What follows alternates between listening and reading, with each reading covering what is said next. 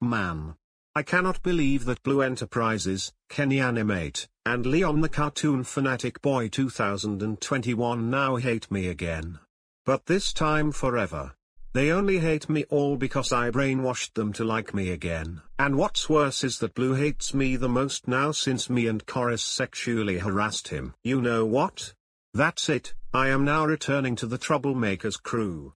Fuck Blue, Kenny, and Leon the cartoon for hating me. We heard on what you said, Daillou. So Daillou. Are you ready to show those badasses who hate you who's boss? Hell yes I am. Alright. Let's show those idiots what we villains have.